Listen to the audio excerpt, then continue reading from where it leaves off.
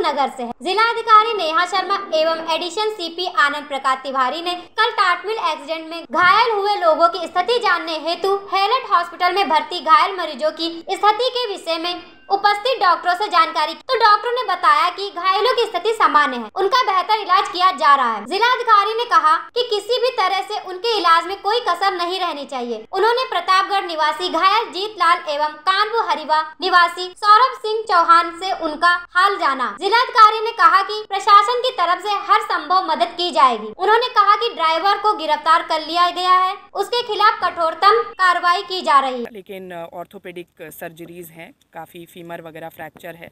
एक हैं जिनकी हेड इंजरी थी, उसका सीटी स्कैन वगैरह कराया गया तो वो सामान्य निकला है, लेकिन टिश्यू इंजरी बताई गई है। तो इस तरह से तीन लोग हैं जो ग्रीवियसली इंजर्ड हैं। सामान्य रूप से इंजर्ड भी कुछ लोग थे, जिनका फ़र्स्ट एड हुआ और फिर वो डिस्चार्ज करके घर भेजे गए।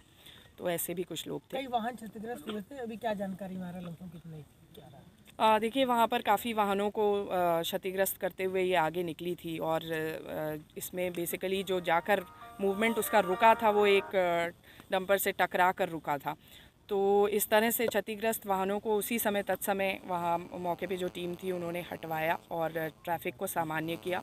जो घायल थे चोटिल थे उनको हॉस्पिटल में पहुँचाया। कोई कंपनसेशन के लिए कुछ आप जी। द्वारा ये एक्चुअली एक जो कंपनी है प्राइवेट प्लेयर है, जो ये पूरा ई बस संचालन कर रहा है, उस, उसके द्वारा भी इसमें हम लोगों ने उससे बात करके, क्योंकि एक तो विधिक कार्रवाई अलग है, लेकिन आर्थिक रूप से भी जो सहायता है, शासन की जो मंशा है, उसके अनुरूप सहायता मुहैया कराना है तो जो डिसीज़ हैं, उनके लिए उनकी फैमिलीज़ के लिए फाइव लाख रुपीज़ एंड जो इंजर्ड हैं, उनकी फैमिली और उसके लिए वन लाख रुपये का कॉम्पनसेशन है। मैम सभी वो हम लोग इंश्योर कर रहे हैं कि आज के आज में हमारे पास लिस्टिंग हो जाए और जितना जल्द से जल्द होगा वील उसको हम हैंड ओवर करेंगे। जी। Bureau report news of Bharat.